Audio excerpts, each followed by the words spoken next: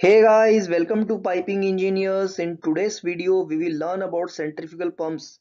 We will see what is a centrifugal pump, what are their different types and how their different types are used in industries. So guys, for more videos and updates, please like, follow and subscribe to our channel.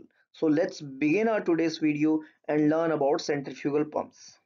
So guys, what is a pump? A pump you would have all seen in your day-to-day -day life. So pump is basically a device that moves fluids, solid waste and chemical slurries by mechanical action from one place to another. So there are two different things that, that while selecting a pump we talk about. So one is your flow and another is your head. So what this flow means? So flow is basically the amount of fluid that we want to be transported from one point to another or it is the amount of fluid that needs to be pumped with the help of our pumping system and the next part is our head. So head tells us the extent or the distance to which we want our fluid to be exported. So while selecting a pump these two important criteria are considered and taken into mind. So while designing a pump or while selecting a pump or while buying a pump we give two things about a pump. One is our flow and another is our head. So what we say we say that we require a pump that can deliver 40 meter cube of uh, 40 meter cube per hour of flow at 30 meter water column of head. So these two things are the important points that are taken into consideration while selecting a pump. So let's begin our today's video's main topic. So what is a centrifugal pump? So guys if we talk about centrifugal pumps in industry or in our common practice 90 to 95 percent of pumps that are used are centrifugal pumps. So majorly most of the pumps that are taken into consideration are centrifugal pumps so basically what this centrifugal pump is as its name suggests their name suggests centrifugal. So we all have studied about our centrifugal forces. So these pumps basically work on this centrifugal force application only. So it is a piece of rotary equipment that converts your kinetic energy into pressure energy or pressure head of the liquid. So external power is supplied through motor or diesel diesel generator that drives the impeller. So impeller is basically the shaft uh, impeller is basically this this uh, this uh, cutout cutout type portion that is mounted on the shaft. So the shaft is connected with the motor and when the shaft rotates this impeller also rotates. So through this suction when a fluid enters uh, this impeller rotates the fluid with its speed and through centrifugal action of force the uh, fluid is moved through through this discharge vane and it moves outside. So basically this is a basic function and basic uh, outlook of the pump that is followed the in the designing of the pump. So fluid enters into the impeller by centrifugal force and it exists from the top of the impeller through volute casing it discharges. So basically this is how a centrifugal pump works. So all these things your motor your impeller your suction port your vane your discharge port all all of these things will be constant throughout your centrifugal pumps design and centrifugal pump selection. So all these things will be always present in your centrifugal pumps so let's move on to our next slide and see what is the classification of centrifugal pump. So depending upon your operational use depending upon your requirement depending upon where you want to install your pump we have different types of centrifugal pumps. So basically all these are centrifugal pumps but the variation is uh, our variation is based on the requirement of the process so if we if we want to select some centrifugal pump depending upon the flow type so depending upon flow type there are three types of centrifugal pumps one is your radial flow type another is your axial flow type and third one is your mixed flow type centrifugal pumps so this is one type of the centrifugal pumps so depending upon number of stages if we want in in next slides we will discuss what this stages means so depending upon number of stages, there are two types of pumps. One is your single stage pump and another is your multi-stage pump. Third one is depending upon type of volute casing. So the first one is your single volute casing. Next one is your double volute casing.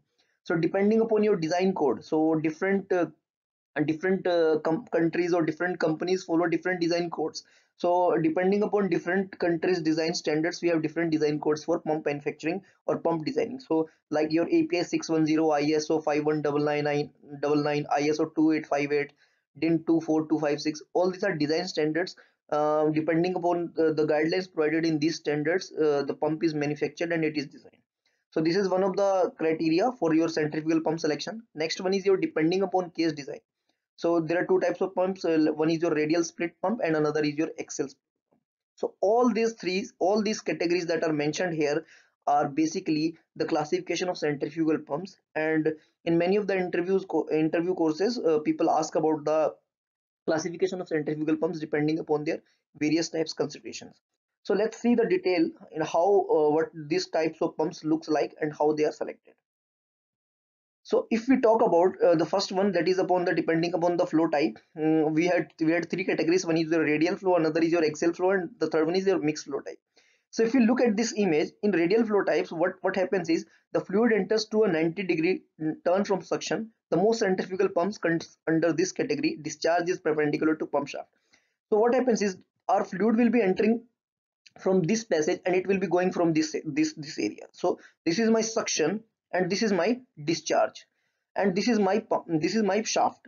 So if you can see the pump is entering perpendicular to the shaft and it is taking uh, it is taking uh, 90 degree turn from the suction and moving outside so this type of flow this type of uh, pumps are the basic pumps and are, and are uh, around 70 to 80 percent of pumps used in industry are of radial flow type pumps and um, they are used for uh, high head generation so this type of pumps are uh, radial flow type pumps Next one is your axial flow pump. So when the fluid flows parallel to the pump shaft, it is called an axial flow pump.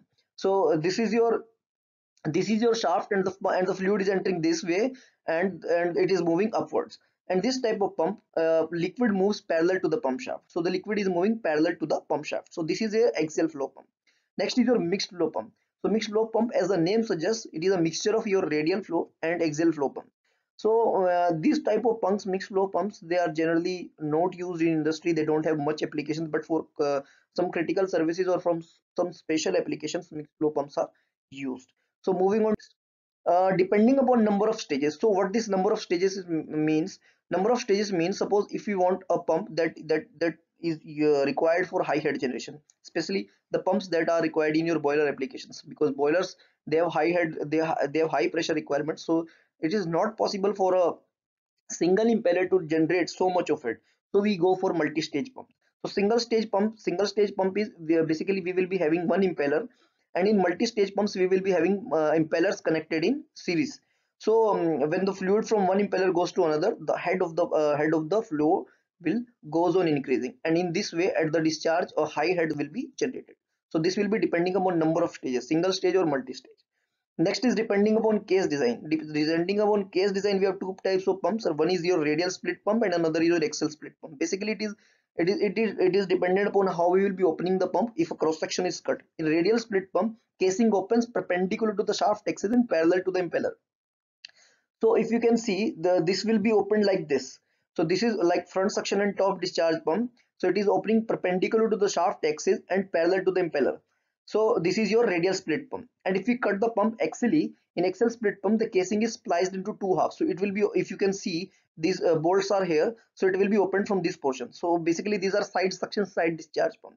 So depending upon case design also we have different types of pumps one is your radial split pump and another is your axial split pump next is your depending upon on the type of volute casing. So we have single volute casing and double volute casing.